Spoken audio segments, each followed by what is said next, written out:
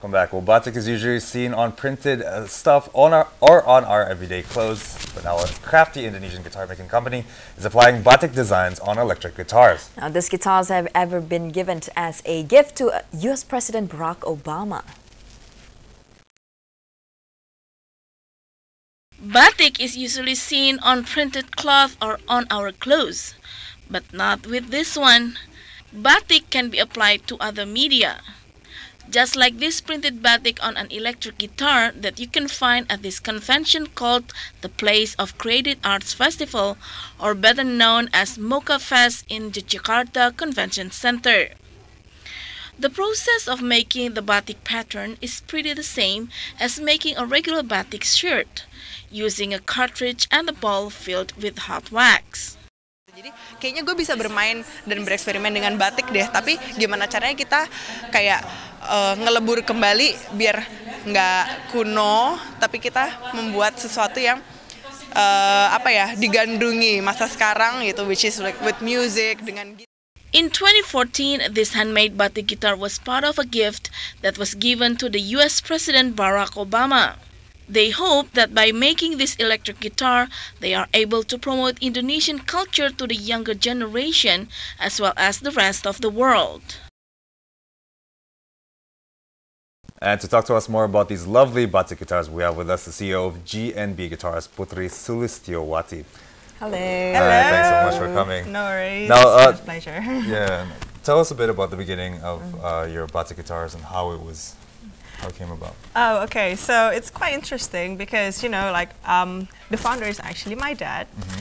So like we grew up, um, me and um, my brothers and sister, like, we grew up surrounded by a, a, family, a Javanese family. Like we're very, very close with cultures and also tradition, which is like it's quite um, important to us to actually like appreciate about batik. So it's it's just like been there for you know like since I was a little girl, mm. and like um, because my dad he's very very active guitarist back in the 70s, okay. and then like he very um, much in love in batiks and also um, Javanese culture. Mm -hmm. So he decided to put them together, and then like decided okay, so I'm just gonna make this batik guitar. So mm -hmm. it's like the combination between his love of music and also cultures. Culture. Now, can you probably explain to us the, the process actually of making the the guitar well. This is very interesting indeed because like the process for the whole process it took around like 30 years so it's like imagine that I, I I wasn't born back in the 30 years 30 before. years for the whole process of making no that's that's, that's the process of making the first guitar the first guitar the first because guitar, like um, it took us you know like a lot of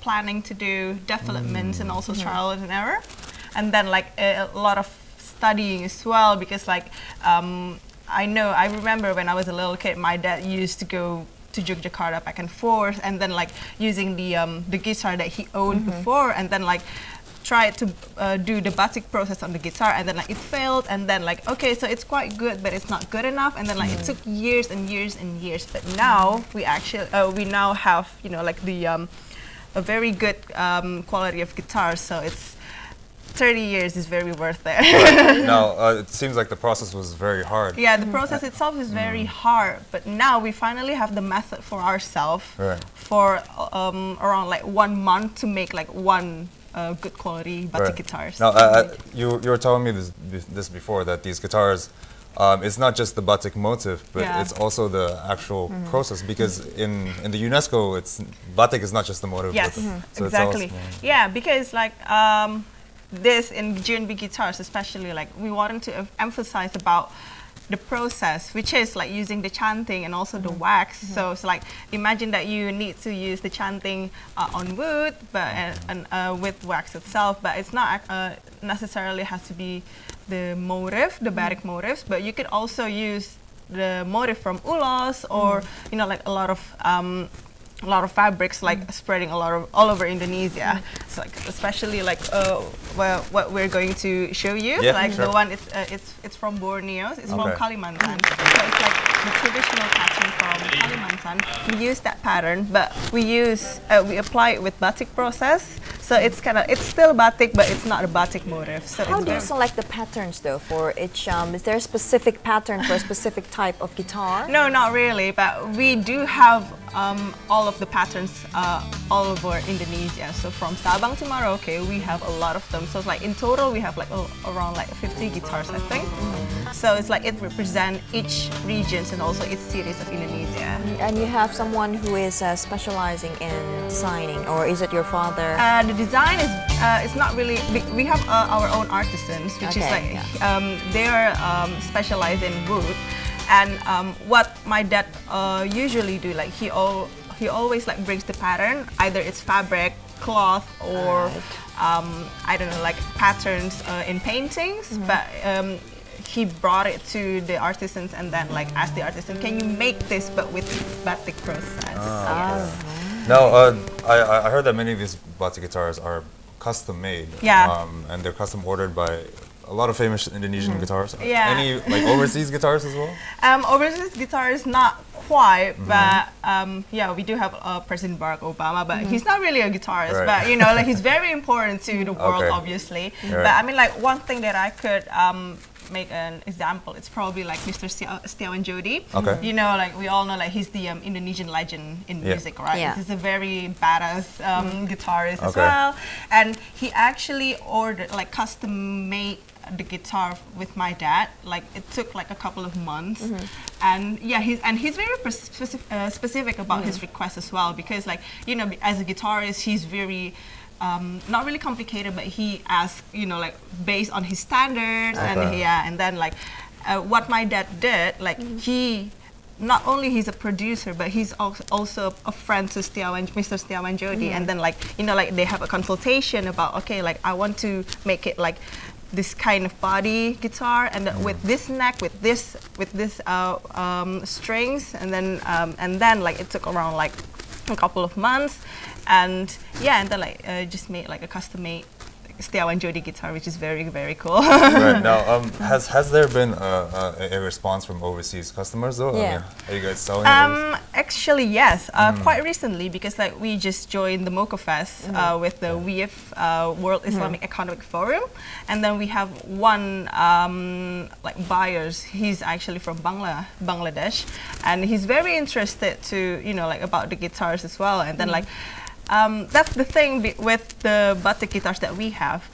Like, there's always a positive response from, you know, like buyers overseas. Mm -hmm. And here, like, we are trying so hard to, you know, like spreading the awareness about this is, you know, like this is from Indonesia. And then, like, we really want everyone to know that um, yeah, this is uh, the legacy that we need to carry on, mm. we need to mm. conserve. Mm. So it's like, it's such a shame if, you know, like um, the people from uh, uh, foreign countries that recognize it first mm. rather than, you know, like the local people in Indonesia. Mm. So. but what are you doing right now to promote? Do you have uh, stores perhaps in Indonesia yes, um, or overseas? Um, I do have a store. It's not re we don't really call it store, but we call it workshop. All right. So it's it's called House of GNB, which is at my house. -hmm. So we turned uh, that house to uh, pretty much like a live workshop. So mm -hmm. the people could actually try to, you know, do the batik process. Mm -hmm. It's like and a gallery as well. Yeah, yeah, yeah. Like, like, right. like a really, okay. really homey and uh, family kind of gallery because like my dad is always around and then like if someone wants to see mm -hmm. it mm -hmm.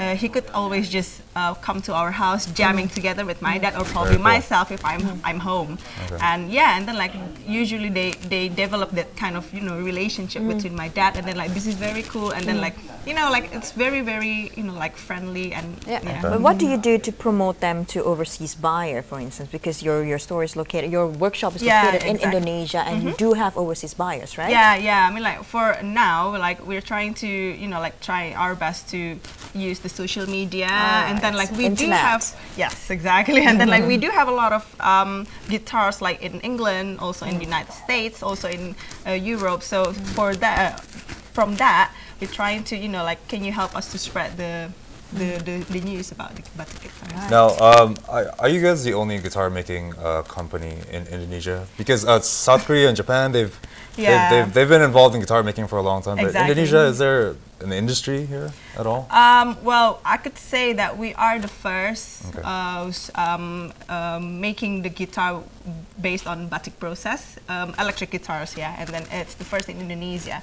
Um, so we could say that I mean, like it doesn't matter if people, you know, like really want to use the batik process mm. afterwards, mm. but now like as long as we're the first, and then like we register it as the first one, mm. and then like um, uh, the Mr. Triawan Munaf from yeah. Bekraf, he already mentioned that this is the first one. So it's very important to us to have that recognition, if you know mm -hmm. what I mean. Right, but um, there there aren't any, uh, there aren't that many. For example, in the U.S., they have Fender, they have Taylor. Yeah. yeah. I mean, Indonesia has a big potential because all the wood is exactly, here. Right? Exactly, exactly. Yeah, you know, there's there's no industry. Yeah, like um, yeah, it's quite it's quite a struggle for us mm. anyway because like.